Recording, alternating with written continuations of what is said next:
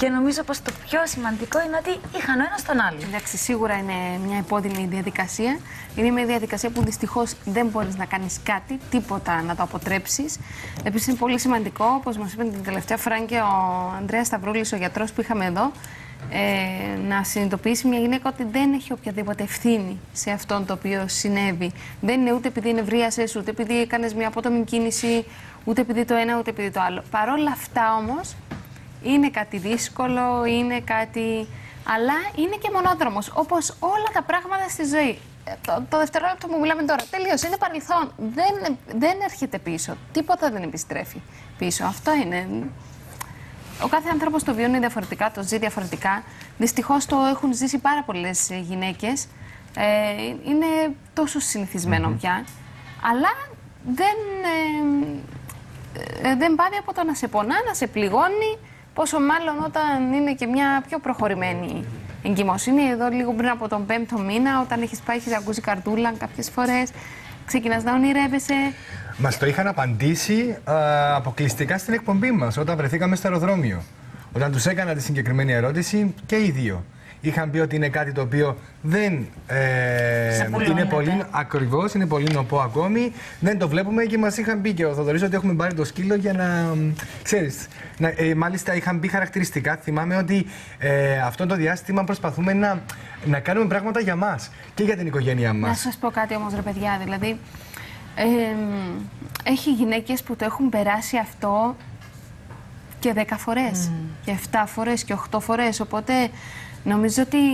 Ε, δεν ξέρω, είναι η δική μου προσωπική άποψη με βάση και το πώς το έχω ζήσει εγώ, γιατί και εγώ το έχω ζήσει.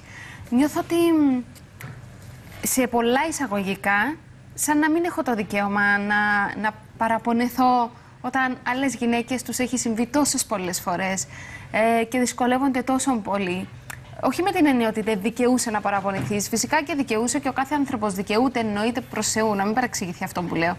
Ε, αλλά νιώθω ότι, ε, τουλάχιστον εγώ αυτός ο άνθρωπος είμαι, πάντα κοιτάω και το ότι και μια άλλη γυναίκα ίσως έχει βασανιστεί πολύ περισσότερο. Και μπορεί και ακόμη να μην της έχει έρθει ένα μωρό. Οπότε, ξέρεις, τα, τα βλέπεις όλα. Τουλάχιστον εγώ έτσι είμαι. Ε, αλλά ναι, είναι κάτι που σε πονάει πάρα πολύ, είναι κάτι που είναι πολύ δύσκολο να το διαχειριστείς. Αλλά και το δεν μόνο μόνο που. να σε σοκάρει κιόλας κάθε φορά που έρχεται στην Φυσικά. αναμνήση σου. Αλλά το μόνο που μπορείς να κάνεις είναι απλά να το διαχειριστείς. Δεν, δεν έχει να κάνεις κάτι άλλο. Και σίγουρα πρέπει να ξαναπροσπαθήσεις, γιατί καμιά φορά μπορεί να μην θέλεις να ξαναπροσπαθήσεις. Το έχω ξαναπεί και εγώ ότι όταν μας έτυχε και εμάς αυτή η ατυχία, εγώ δεν χάρηκα την εγκυμοσύνη όταν είχε έρθει. Γιατί ήμουν, κρατούσα μια πολύ επιφυλακτική στάση. Φοβόσουν να χαρείς. Ναι. Ε, φοβόμουν να χαρώ, ναι. Αλλά εντάξει, είναι, έτσι είναι τα πράγματα. Δεν, δεν έχει κάτι άλλο να κάνεις. Και σε επόμενη πιθανότατα εγκυμοσύνη να είμαι το ίδιο. Παρόλο που θέλεις τόσο πολύ να το χαρείς, αλλά επειδή ξέρεις αυτά κλπ. Έχεις ζήσει, έχεις βιώσει κλπ. Είσαι λίγο πιο επιφυλακτικό. Όντως, επειδή το βίωσες, Χριστιανά μου, και εσύ, αυτό που λένε ότι επειδή και ήδη το είχα δημοσιοποιήσει, όχι ότι βγήκες εσύ και είπες, απλά κυκλοφόρησε μέσα από site κτλ. Είναι και λίγο πιο δύσκολο και πιο άβολο όταν έρθει αυτό το ατυχές γεγονός να βγεις και να.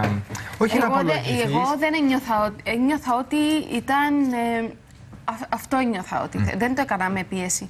Όπως πάντα έχουμε μοιραστεί με τον κόσμο όλα αυτά τα χρόνια τόσα πολλά πράγματα.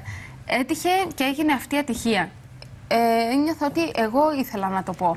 Δεν ήταν κάτι ούτε για να το κρύψω, ούτε για. Ήταν κάτι που θα φαινόταν ούτως ή άλλως. Περισσότεροι ξέραν ότι περιμέναμε μωρό. Ε, και καλοπροαίρετα, σκέψω, ας πούμε, στην πρεμιέρα αυτά, να, να σου εύχεται κόσμος, άτε με το καλό, με το καλό και να μην υπάρχει εγκυμοσύνη. Ενώ ήταν κάτι που ένιωθα τόσο έντονα ότι αυτό ήταν το σωστό για μένα να κάνω. Αυτό ένιωθα εγώ να κάνω και αυτό έκανα. Αυτό που ένιωθα, τίποτα παραπάνω. Ούτε αυτό που έπρεπε, ούτε τίποτα. Αυτό που ένιωθα. Και πόσες γυναίκες πήραν δύναμη όμως από τη δική σου οπτική; Από τον τρόπο που το, που το μετέφερες; Ναι, είναι Νομίζω αυτό πολλές ότι γυναίκες συνεχίζεις. πήραν Δεν... δύναμη. Συνεχίζεις. Συνεχίζεις και δεν πρέπει να τα εγκαταλείπουμε. Αντίθετα. Πρέπει να συνεχίζουμε να προσπαθούμε. Πρόσφατα, μια φίλη μου μετά από 18 χρόνια έγινε μανούλα. Αλήθεια. Τώρα 18 χρόνια και πόσες εξωσωματικές. Πραγματικά. Μπράβο. Ο Δηλαδή, επιμένων νικά. Και μετά μιλώντας από- για θαύματα. Που ταλαιπωρήθηκε, έκανε ορμονοθεραπείες, έκανε το ένα, έκανε το άλλο εξωσωματικές.